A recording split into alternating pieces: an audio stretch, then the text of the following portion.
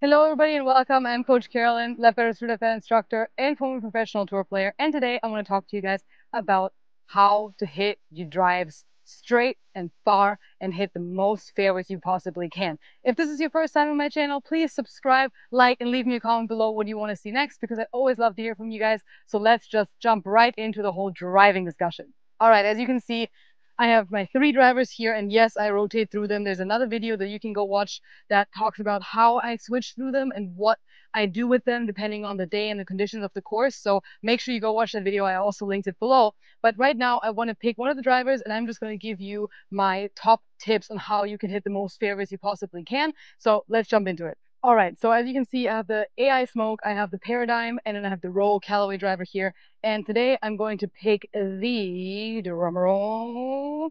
I'm going to pick my Rogue because I really like my Rogue. It's an awesome, awesome driver. It's kind of my day-to-day -day driver. I love the face. It's the softest feel of the faces out of these three. And I just love that on a regular day if I don't really have to battle with the wind too much. If I do battle with the wind, I take some of the other ones with the other shaft combinations. But again, watch my other video. I'm very, very clear and detailed on what I do and how you do it when the situations and the conditions change. So let's talk about setup first, because setup really is the main thing for the driver. Um, and a lot of people ask me this question.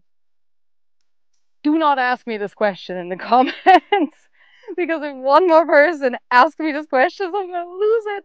It's basically so how do I swing with the driver? You know, when I talk to somebody, I give a lesson and I give them a technical feel and I explain to them how they should swing the club. And then they're like, but what about the driver? It must be completely different. And I'm like, my God. This may be a newsflash, but the swing is exactly the same. Like what you're, what you're thinking and how you're swinging is really truly the same exact thing to your five iron and to your seven iron and to your eight iron, unless you're trying to do something different, unless you're trying to shape the ball or you're trying to flight the ball or you're trying to do something crazy. But stock shots have the exact same swing thoughts because the driver is completely different in setup, right? It's longer, it has a different lie angle, it has a massive head.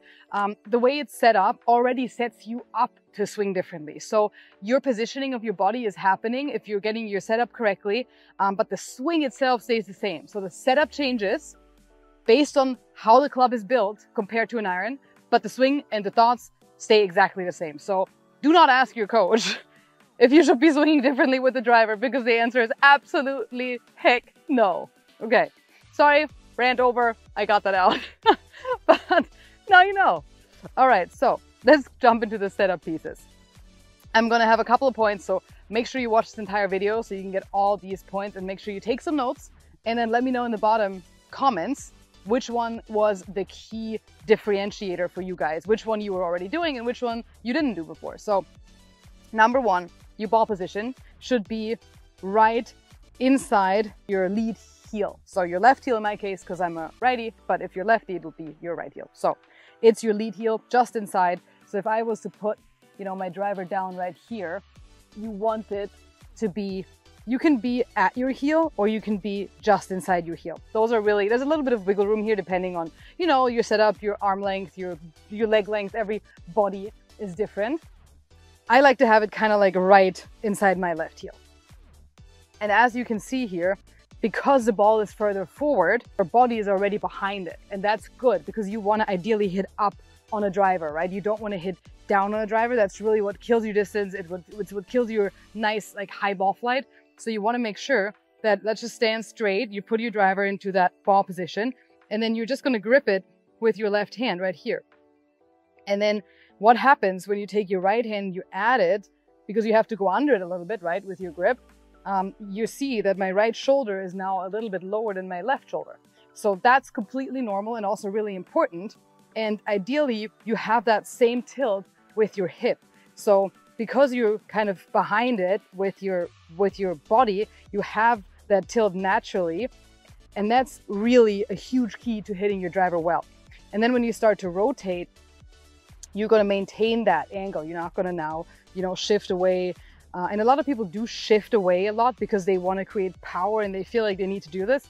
But you really want to rotate. Once you've set up correctly like this, you really want to rotate around that setup to get to your top position and then shift back down into your actual impact. So, because you want to keep driving forward, but you want your body and your head especially to stay behind. What is the killer with the driver again is that you're coming this way, that you're coming over the top and your head is moving past your ball. So if you're struggling with your driver, make sure that you're doing these things. Ball position, simply grab your driver with your left hand, add your right hand, make sure that your shoulder is dropped a little bit in relation to your left shoulder, same with your hip, and now you're good to go. And from here, you can really keep all the swing thoughts that you've been doing with your coach, whether that's, you know, a better takeaway with your hands in, club head out. And a lot of people think that, you know, feeling steeper in your driver swing, because this sometimes makes people feel steeper, but it really isn't. If you look at any of the pros on the tour, they actually have their club head, you know, club head outside of their hands and it's covering their hands. You can see this from the down line view a little bit better. This and then going up and at least matching your hands. I also have a video on this um, that I'll link below. But again, it may feel steeper, but because you're already standing further away because the club is longer, you're actually going to be put on a shallower plane already. So make sure you get your ball position, your shoulder and your hip angles correctly, and then just swing away with the swing thoughts that you're working on in any given swing. It does not change. All right, so let's hit one with all these thoughts in my setup and all my own swing thoughts, which I'm not going to list all these out for you because you guys will be so confused. so that's another video of actually going through my personal swing thoughts. Ball just inside my lead heel. My right shoulder tipped a little bit, my left shoulder a little bit higher. Same with my hips, just aligning it to my shoulders. And then keep your swing thoughts that you're working on and just focus on rotating around that setup.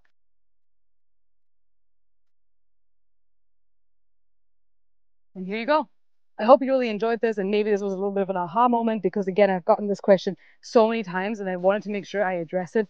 The driver is exactly the same swing, but the setup changes based on how the driver is set up. So I hope you loved it.